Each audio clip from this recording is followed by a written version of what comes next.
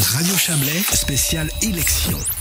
À chaque jour, son candidat. On poursuit aujourd'hui notre série visant à rencontrer les prétendants au Conseil des États pour les élections fédérales de cet automne.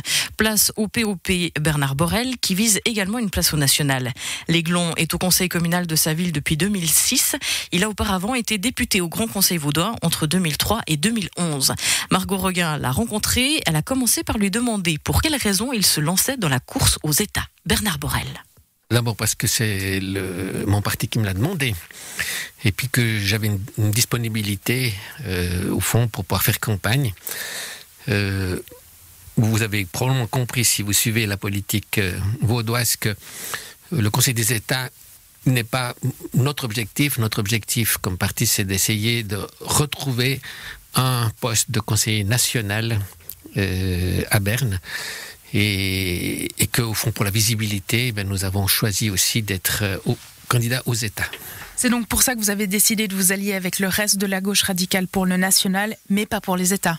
Oui, c'est exactement ça. Et puis, ce qu'il faut quand même dire, et c'est important, c'est on participe de l'effort parce que nous sommes très inquiets de cette majorité de droite euh, extrêmement importante qu'il y a eu pendant cette euh, législature qui a bloqué beaucoup de, grands projets et que nous, voulons euh, qu'il y ait une majorité, qu'il y ait un glissement à gauche. Nous participons de cet effort-là puisque nous disons, et je dis toujours, nous sommes l'aiguillon de la gauche. Le slogan du POP est simplement populaire. Qu'entendez-vous par là? Mais je crois qu'il faut essayer de, s'éloigner des théories puis d'être proche des gens. Et je crois que mon métier finalement m'aide à être proche des gens, ou m'a aidé à être proche des gens. Euh, j'aime, j'aime les gens tels qu'ils sont. Et puis j'ai vu beaucoup de gens un petit peu cassés par la vie. Et, ces, gens-là, ils n'ont pas forcément accès au débat.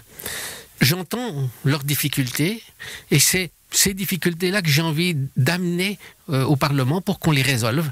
Par exemple, je trouve dommageable et, scandaleux même que les primes de caisse maladie augmentent d'année en année sans contrôle populaire et qu'ils deviennent finalement étouffantes pour les gens, alors qu'il y aurait d'autres moyens de financer euh, la santé que de faire les primes telles qu'elles sont actuellement. On va y revenir, mais restons aussi dans le monde du travail, euh, notamment au niveau de la retraite. Alors que la hausse de l'âge de la retraite pour les femmes paraît imminente, le POP va dans le sens inverse et propose que l'âge de la retraite soit fixé pour toutes et tous à 60 ans, avec des possibilités de départ avant pour les métiers pénibles. Au fond, les gens, surtout à droite, ils veulent augmenter l'âge de la retraite. Mais les mêmes ne veulent pas engager les seniors dans les entreprises. Donc qu'est-ce que ça veut dire? Ça veut dire que les seniors vont être plus au chômage, et puis s'ils sont plus au chômage, il va falloir que l'État crée des rentes-ponts pour quand même qu'ils ne tombent pas à l'aide sociale. Donc c'est au fond un jeu de la droite et des patrons pour, encore une fois, gagner de l'argent. Parce que si on engageait les seniors réellement, on pourrait discuter. C'est pour ça qu'on dit, quand on voit la difficulté pour quelqu'un de plus de 55 ans de retrouver du travail s'il le perd, il serait logique de laisser partir les gens euh, plus tôt à la retraite, ce qui donnerait aussi du travail aux jeunes. Et vous savez que maintenant, les jeunes, souvent, même très bien formés, ils doivent faire une année de stage mal payée et que donc, encore une fois, les patrons profitent d'eux pour éventuellement ensuite, parce qu'ils ont une expérience professionnelle, pouvoir trouver un travail normalement rémunéré. Et donc là, il y a vraiment un, vice de forme. Et je pense que une, si on demande de diminuer l'âge de la retraite, c'est aussi pour pouvoir mieux répartir à travers la vie le, temps de travail. Autre sujet, vous revendiquez la mise en place d'un congé parental payé de 18 mois. Le Parlement a décidé de soutenir il y a peu le congé paternité de deux semaines. Qu'est-ce que ça vous inspire? Ben Ça, m'inspire que il y, a encore euh, quoi 18 mois, le Parlement n'en voulait pas. Et là, tout à coup, c'est bon, c'est un peu avant les élections aussi, mais la, droite est obligée de lâcher. Elle lâche un petit bout. Eh bien, si vous voulez, c'est quelque chose. On gagne quelque chose. Donc, on ne va pas, euh, disons, dire que c'est pas bien.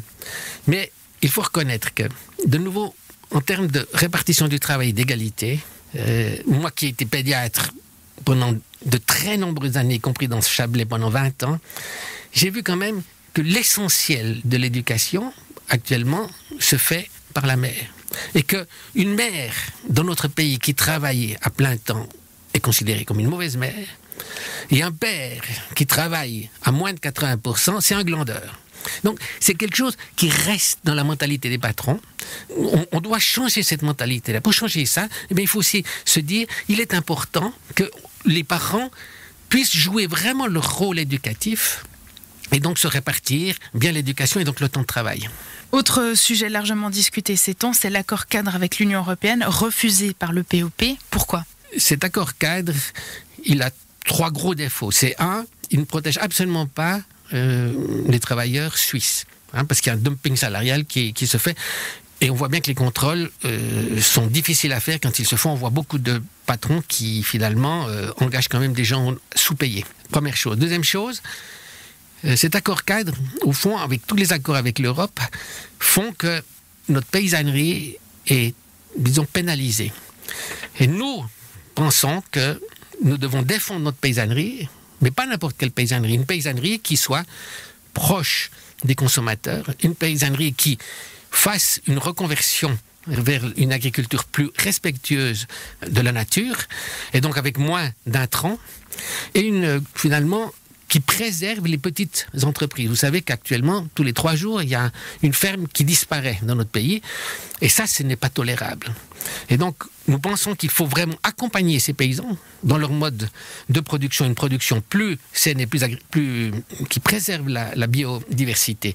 Et ça, c'est important. Troisième chose, euh, il y a un grand risque, s'il y a des accords cadres, que, au fond, tout l'aspect énergétique nous échappe comme autorité politique et qu'on doit absolument préserver ça. Vous savez que l'électricité ensuite sera libéralisée et nous sommes totalement opposés à la libéralisation. C'est pour ça qu'au fond, nous sommes contre cet accord cadre. Ce n'est pas que nous sommes contre l'Europe.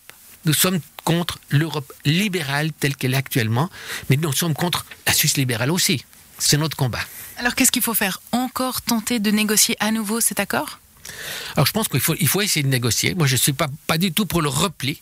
Je pense qu'on doit simplement expliquer qu'on a des intérêts à préserver et qu'il faut le renégocier, renégocier, renégocier. La Suisse a une chance?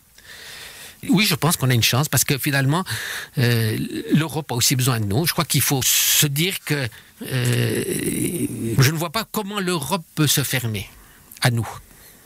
Finalement. Je veux juste dire encore que, oui, on n'est pas contre l'Europe, mais quand on voit en termes de migration, on, on, se dit très suisse, hein, mais au fond, si vous regardez, on applique exactement les mêmes lois pour la migration. Et on est en train de fermer la Suisse comme l'Europe se ferme. Et on laisse mourir des gens euh, dans la Méditerranée, que ce soit au large de la Libye ou maintenant au large de la Grèce. Et c'est vrai que moi, ça me touche beaucoup. J'étais en Grèce en 2015 quand j'étais encore président de Médecins du Monde. Et j'ai vu ces, ces, migrants qui venaient. J'ai vu une maman avec un bébé d'un mois.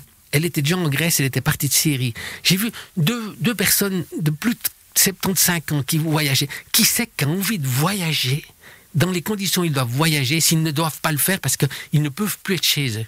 C'est une insensibilité institutionnelle actuellement qui, moi, m'inquiète beaucoup.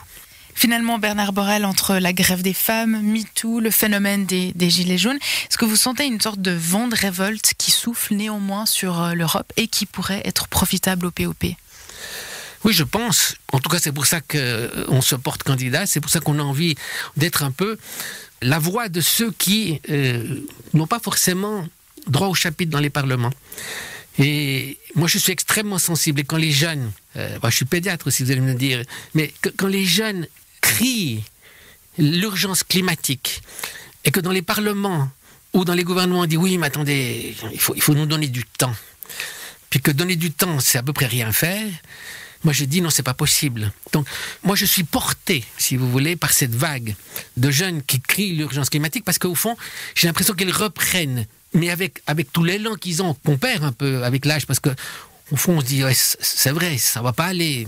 Le marché, c'est le marché. On, perd un tout petit peu cet esprit combatif. Et quand je les vois et que je participe aux manifestations comme grand-père du climat, eh bien, je, retrouve l'élan pour dire, c'est vrai, il faut les soutenir, il faut, il faut absolument que cette voix soit au, Parlement, que ce soit moi ou que ce soit quelqu'un d'autre de mon parti.